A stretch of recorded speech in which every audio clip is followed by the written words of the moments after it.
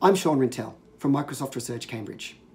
The state of the art in team collaboration research this year reiterates that thoughtless collaboration is poor collaboration, regardless of technology. However, our tools are not neutral. They shape what we can do, and we shape the meanings that come from them. And this means that teams can make a lot more choices around technology. First, intentionality. One great piece of research shows that meetings improve when business objectives drive technology choices.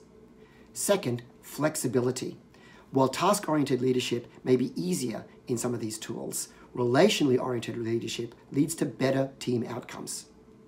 And third, experimentation. Teams could be experimenting right now with a lot more ways to do things, but the future of AR and VR immersive team collaboration is experimenting in new design fiction environments that let teams try a whole new set of things that don't yet exist. The future of team collaboration is making great choices, not leaving it to chance.